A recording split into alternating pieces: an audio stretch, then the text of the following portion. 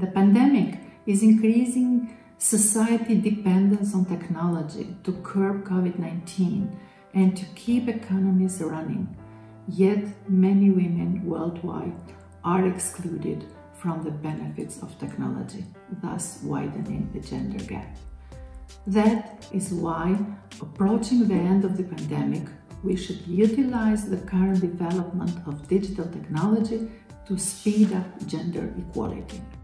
The digital transformation that is happening right now can help women to better themselves. Even though the pandemic has hurt a lot of women out there, through technology, we can actually help them. Using digital technologies, we can truly transform not only women's ability to be present online, but also to advance their knowledge, career, work from online, and use it for everyday needs. Some of the things that we can do to decrease this gap are embedding the ICT in the formal education, encouraging collaborative and peer learning, creating safe spaces like uh, hack labs where everyone can learn something new and share something new, supporting the woman digital rights, and increasing the needs of women to be present online.